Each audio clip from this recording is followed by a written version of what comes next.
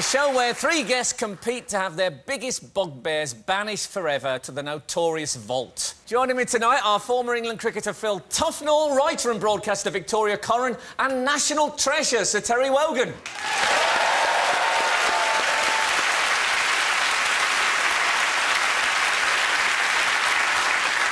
OK, can we have our first category?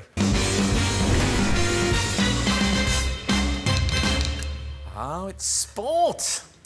OK, so what winds up Terry about sport? That one.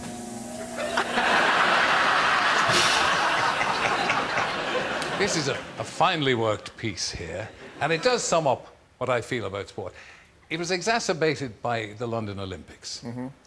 Some poor fella or girl would come out of a swimming pool or off an athletics track, drained of all emotion, four to six years of training gone for nothing because they've come fourth or last, speechless with disappointment and exhaustion. And a fella like him sticks a microphone under their nose and says, How are you feeling? Well, we have, we have an example of the kind of thing you mean, uh, Terry. This is this is Purchase and Hunter, the, the, the rowers, who've uh, who've just got a silver medal. What are your thoughts now? We gave everything. We tried everything. We wanted to win so badly.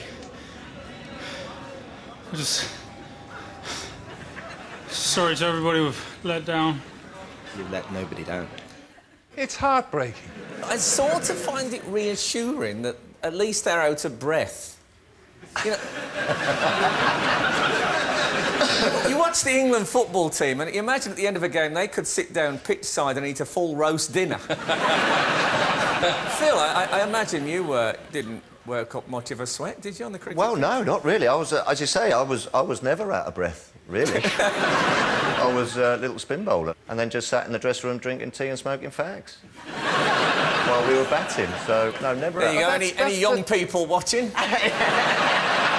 But Harold Larwood, the uh, the England fast bowler, when they brought out the drinks interval, he used to have a pint of bitter brought yes. out to him. Well, so did some of the boys when I toured. Uh, my first Test match, we were out there. Lammy beat both them, and all the boys. Gower, drinks break, all come out. And I'm standing there, and I go, "Have a little drop of that, Tuffers. That'll make you feel better." Gin and tonic. One of the things that was great about the Olympics, apart from the sport, which was an unfortunate byproduct, Oh, wasn't it nice that for all youngsters watching, there was this sense of a new sort of hero? They've been watching these sort of awful kind of reality stars and people that just want pop music for years, and here was a, a type of person with goals and ambitions that were more inspiring, for which you need to get some personality. You need to hear some of the emotion to find out. If you just saw them doing the sport, you wouldn't get the same lesson in it. that was very good. You sound like my sports psychologist. That was that was fantastic. Do you have a sports psychologist? Well, no, I didn't go. I No, I didn't was go. I didn't go. Maybe I've been a begrudger, but I just found it a little bit uh, disheartening that people come off not having done so well and they get a microphone shut. Perhaps if they were allowed to rest for a little bit, put their thoughts together, rather in the same way that Sir Alex Ferguson is, is always interviewed, considerable time after the game. But he's still horrible. But he's not out of breath. Well, I can tell this is coming from a good place. So that's fair enough. OK, what is Phil's sports gripe? I know, careful. There he comes. Yes, the Australian cricket team from 1990 to 2002. yeah.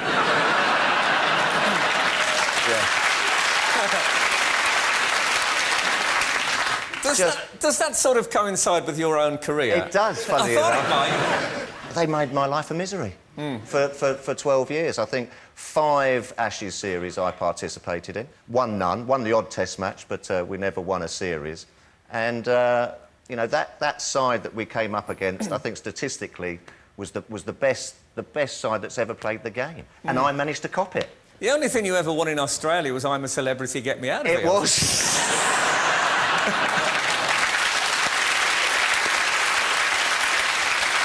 yeah. But they knew it as well. That's what really annoyed me about them. You know, the two. It was hard not to notice. I for know, them, and they wasn't it? used to sledge you, you know, and they used to give you a stick. I mean, one of the best sledges I think was off Ian Healy. Said to me, he said, just as Shane Warne was coming up to bowl, he said, "Oi, Tuffers, can you lend me a brain? I'm building an idiot." Your, your batting average against Australia, do you know what that is? Uh, Three? It's not quite that high. Oh, a little bit it's, more. uh, Not that high. it's 2.72.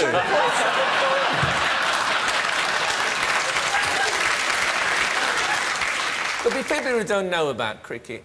Um, Phil's fielding was, was quite legendary. And just to give you an insight into what Phil's fielding was like, we have a clip of him on the, the One Show, which sort of is a, an echo of it. This in 1990 would have cost you 780 quid. Just one one bottle. one bottle of that, 90, and yeah. now, if you uh, wanted to flog that now, 23,000.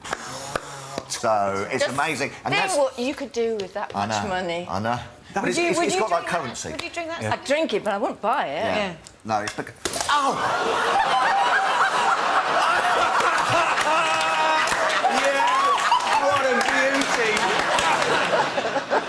But it was a scam, It wasn't it? was a scam. Now, that was very expertly done, but a very fine gag. Hmm. I, I watched that at home and completely thought you'd knocked her. Maybe because I could remember this incident. Oh, hello. Oh, there's a mix-up. There's a... Oh, my goodness gracious me. You would not believe that that was possible. He got so excited. Sorry, Phil. Ah.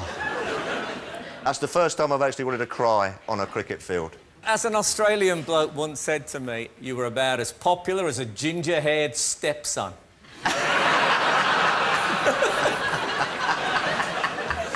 OK, let's have a look at Victoria's sports hate.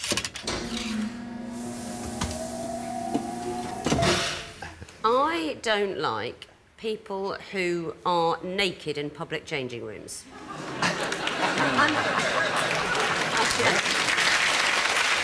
I'm, not comfortable with nudity when it's me alone in the bath. I certainly don't want to be trying to put my clothes back on in the gym, you know, appropriately, under a towel, sliding things on, and someone just strolls past, and it's usually somebody, you know, perfect. They go to the gym all the time, all, you know, perky and completely hairless. Look at me, I'm perfect. Why don't you just kill yourself now? Don't they have cubicles in ladies? Is it open plan in a ladies' They chamber? generally, you know, there's lockers where your stuff is. But it's all out in the open, is it? Yeah, but you Oh, don't have to, you know, people. I like when Phil said all in the... Up, he did a bit of a swagger. Well, it's even worse in, in, a, in a, a bloke's gym, I, I imagine. What do you mean you imagine? You don't Well, know. no, I've been in it once. but it's hard to compare, obviously. But um, with men, how, how can I put this delicately at this hour? But um, with men, size is very much. You know, with women, I, I don't know where if women have made up their mind about whether big breasts or small breasts are superior in any way. With men, the votes have all been counted.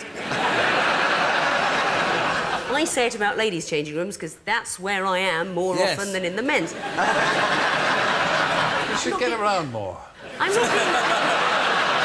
Men are, men are exactly the same. We all feel completely inadequate. Mm. And then somebody walks in, a bit like yourself. Yes, we I think I represent the small handful.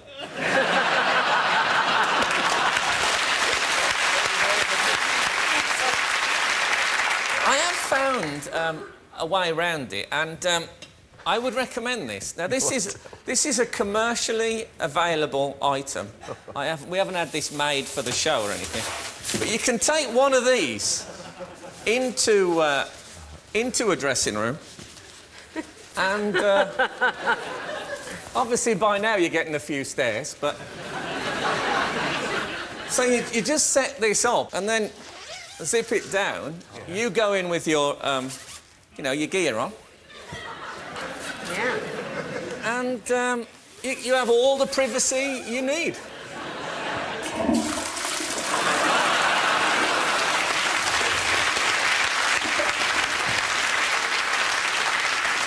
But that's a, that's a genuine item that people uh, that Good. people Someone use. else was going to jump out there. Yeah, that would have been better, wouldn't it? if, if a girl had come out in a sequin leotard. we don't have that kind of money. OK, we come to the end of that round. Uh, you've all argued your cases very well, I must say. I, myself, suffer in uh, dressing rooms through insecurity and horror and envy. But I sort of think it, it's, it's my problem rather than their problem. And I, I know it's very tough for those losers being interviewed, but I do like the, the, the drama of it. And also, I hate the Australian cricket team, so I'm going to put them into room 101.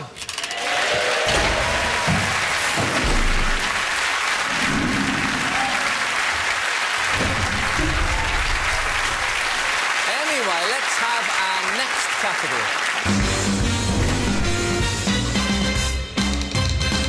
Food and drink. So, what winds Phil up about food and drink? Ah! Hors d'oeuvres. Would you like an hors d'oeuvre, Terry? I'd love one, but I've been warned against them. Yes, precisely. I couldn't agree more. No, hors d'oeuvres. Can't stand. I've I don't think I've ever actually enjoyed eating any single hors d'oeuvre in my life. To be fair, uh, you're at a posh do, aren't you, with your with your DJ on, and you're sitting there having a drink, and there's this little chap with sort of a roof tile full of all these little sort of stuff coming round, and he goes, "Would you like an hors d'oeuvre?" And you sort of go, "No." And they keep coming back, you know, would you like an hors d'oeuvre? No, can you leave me alone? I'm having a chat. So eventually you go, well, OK, well, what are they? And the bloke goes, don't know, but I wouldn't have one. You know what I mean? and they look disgusting, and so you eventually go, oh, go on, well, I'll try one. And it's disgusting. And you spend the next five minutes all going, mm, and trying to find somewhere to spit it out. I can't stand it. All you're doing is reinforcing your image as an unsophisticated lout. Well, no, I couldn't, I couldn't agree more. I mean, what is wrong with a twiglet?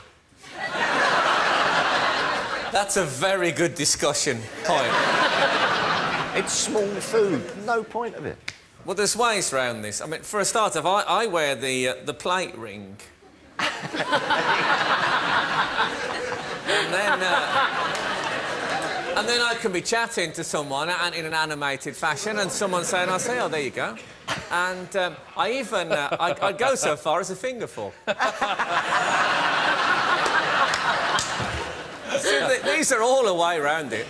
Well, I don't like big bloating meals anymore. I like little delicate. You get to taste all sorts of different things and. I like them to start, and then I like the big bloating meal afterwards. OK. Well, you've got the, the best of all possible worlds. OK, then what doesn't Victoria like about food and drink?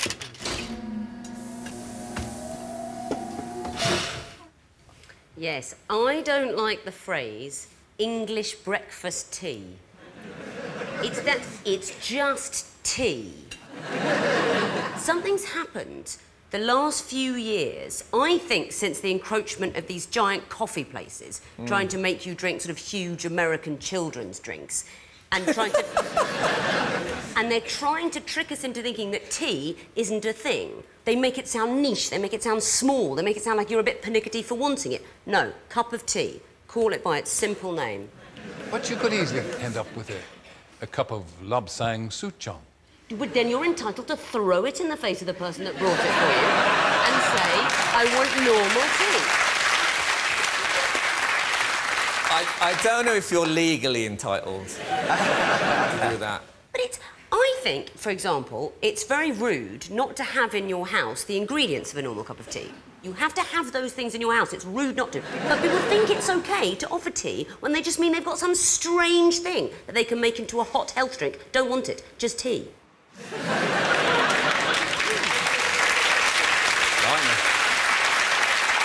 This, this feels to me a bit like a sort of, a sort of new, new age colonialism, because you're saying that all the, the Lapsang Souchongs and the Ceylons and the Darjeelings are some sort of quirky splinter group. you're a tea fascist. That's what you are. This is, this is what you should be drinking out of.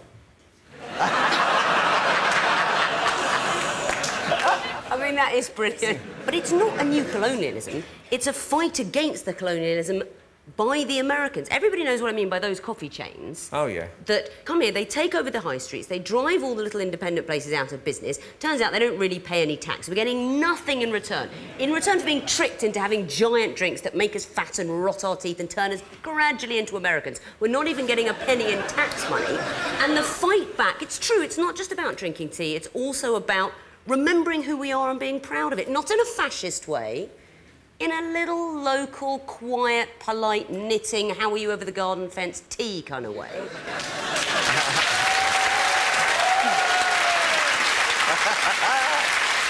Do you ever use uh, an infuser? No. No? I put a tea bag in a cup and I pour boiling water on it. This is, uh, this is called uh, the Titanic.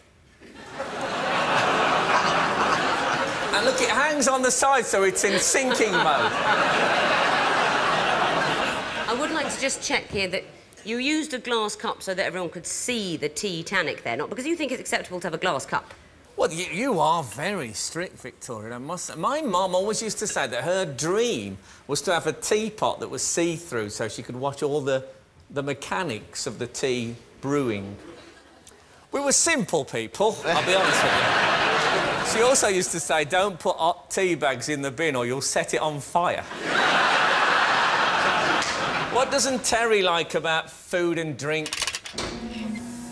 that There won't be anything. Won't be anything. Um, well, I wouldn't say I don't like crisps. It's packaging. Not just packaging food. You know, tin of sardines, or your favourites, the pilchard. Oh yes. You put the finger in the in the in the ring thing, dislocate your finger, break your toenail, damn thing comes away, and you've got to get a tin opener anyway. It's all for a sardine. But if you take it even further, I mean, when you get to my distinguished age, it becomes very difficult to open things. Has anybody tried to break into a toothbrush lately?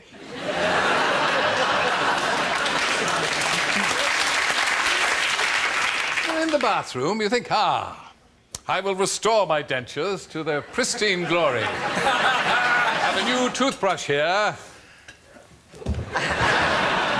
Apparently, Terry, I'm told that the way to get into Oh, a what? toothbrush is with a tin opener.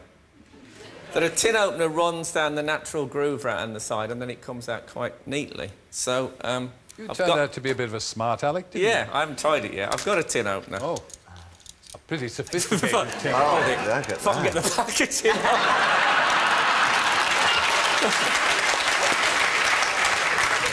I've- scissors. No. Anyway, apparently that works. You know those kind of bottles that you think, oh, I'll just screw the top off it. But you can't. You've got to press it down before you turn it round. And it still doesn't come off. There you are, without your vinegar for your chips. and it goes on forever. It's difficult. It's made me realise why old people get up so early, because they need about...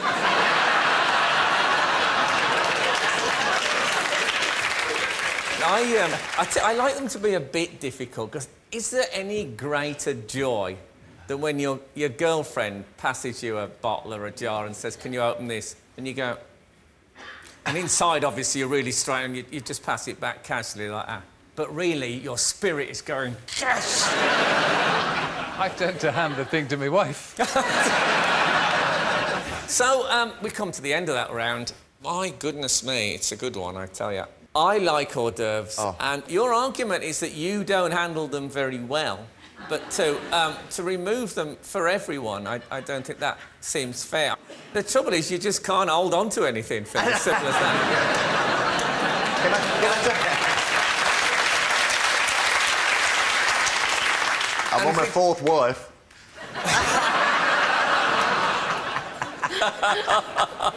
so you're not wrong. That's. Uh... and, and, Victoria, I know what you mean, but I do think we have to accept there are many teas, and they're not all weirdo teas. They are proper tea leaves, and we need to distinguish them. But I have to admit that as I get older, life is becoming a war against packaging on food and, and so many things. So I am going to put food packaging into room 101. Oh, well,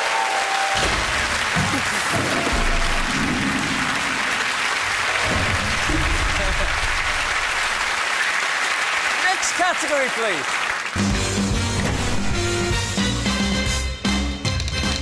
Ah, this is the wild card round, so the gloves are off. No categories to worry about. You can just choose anything at all you don't like. So, what is Victoria's wild card?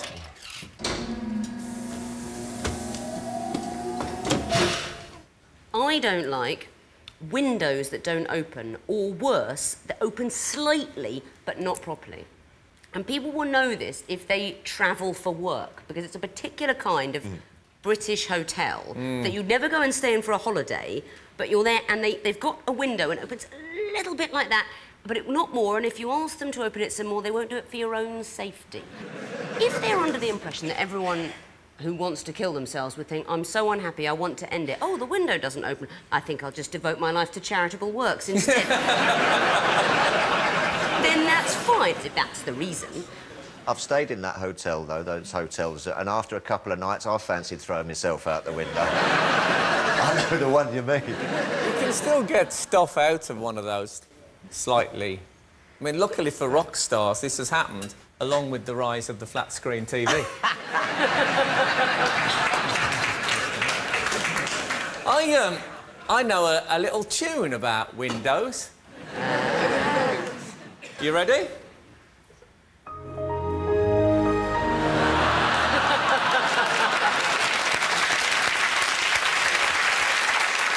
There is a serious point, though.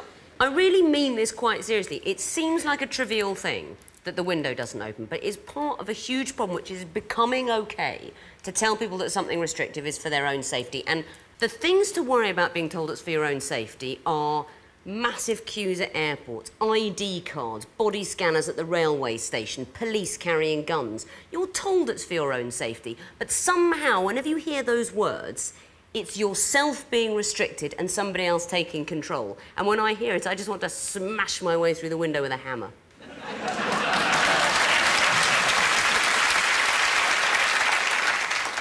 I, it's, it's a very fine line, all this, though. This, this thing about, you know, we've got to have our rights and that. Some people are not as bright as you and they need protected from their own foolishness. You think there are people that are so stupid that you have to not allow them to open the window in case they don't know how to stay on the right side of it.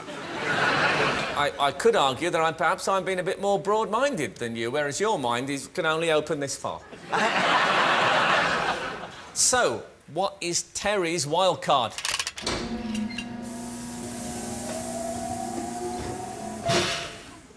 Research shows.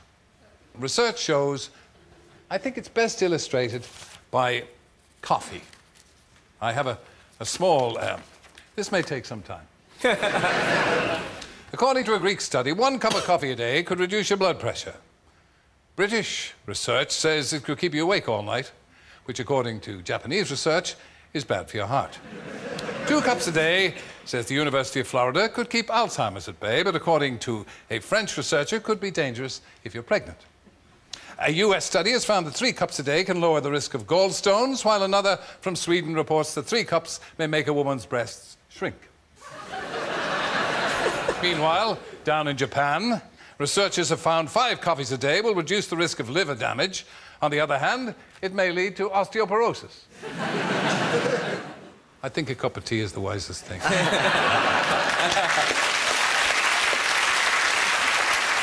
Of course, you don't have to worry about any of these foods because you can't get through the packaging. exactly, and of course, I have my racing snake figure to think about as well. But it's, um, it is confusing. There used to be things that were good for you and things that were bad for you, and that was it, wasn't it? Do you remember this advert from my, from my youth? May I have your autograph, please, Mr. Best? I've seen you on telly. And I've seen you on telly. You're on Dad's nephew, aren't you? Yeah. Remember that last match in Spain? Cool. Terrible game. Didn't have an egg for breakfast. Well, there you are. But eggs were definitely good for you then, no doubt. Milk was definitely good for you. It was straightforward, but it has changed horribly. I was always told that you can survive just on Guinness. It's meant to be very good for you, Tell. You should know about the Guinness. Like a drop of Guinness. As soon as I could afford to drink something else, I- You did.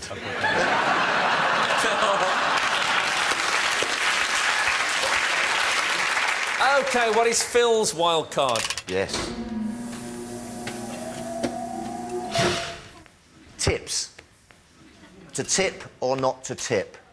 That is the question. Hmm. Because I don't go to work, or when I used to play cricket, or, you know, used to bowl a few, get a few wickets or something, and someone at the end of the day go, listen, you did really well today, Phil, here's a couple of quid, go and have a drink. You know what I mean? No one used to tip me. Whereas cricketers in Pakistan, it happens all the time. I was in America the other day and I went into a brasserie.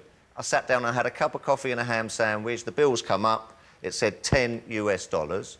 So I got $10 out. I was in there for, you know, five minutes, put the 10 US dollars down. I walked out of the brasserie. The bloke chased me down the road with his mate, frog marched me virtually back to the place and said, You haven't paid our, our, our tip. Can I say I believe that? Because I've seen Phil play cricket and the man who worked in a brasserie would catch him easily. Yeah. Do you tip when it's already on the bill and. No. I don't think it should be shared out amongst all the waiters either. If I want to tip a good waiter, I want them to get. I don't want people who are perhaps rubbish getting the same tip as them. It's like when, you know, at the end of a Take That gig and they come out and you, they all get the same applause. It seems wrong.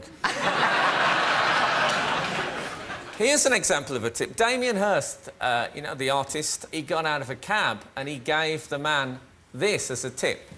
Signed, says a great drive, as well as the fare. He gave him that, and the bloke put it up for auction, and it went for 4,500 quid. Well, that's great. what about that for a tip? That's terrific. Good luck. Yeah. So what I've started doing now is I give, I give them, I say that's seven pound eighty.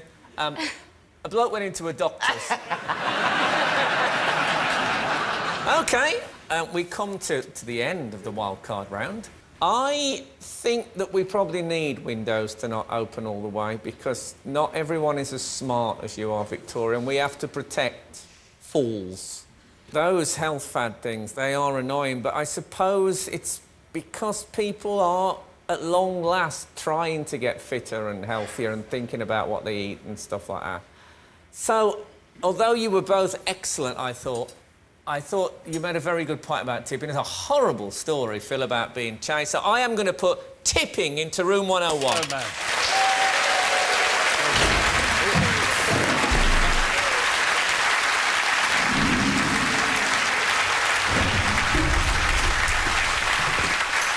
And that brings us to the end of the show. Well done, Phil. You were the most persuasive guest, oh. so you were this week's winner. Thank you. Thanks very much, Victoria Coren, Phil Tufnell, and Sir Terry Wogan, and thank you. Good night.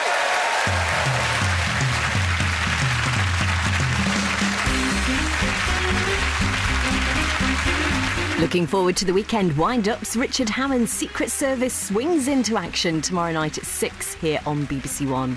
Now, dark family secrets revealed as the truth is uncovered. Stay with us for Silent Witness next.